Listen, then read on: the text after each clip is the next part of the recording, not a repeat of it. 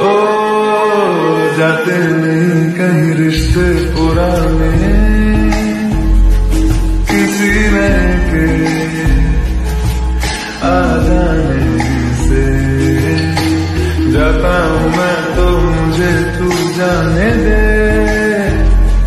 क्यों परेशान है मेरे जाने से?